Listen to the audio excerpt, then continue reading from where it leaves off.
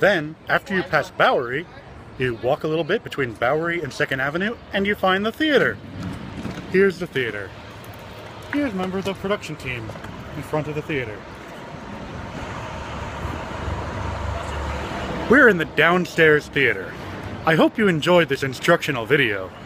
Please, come to the show.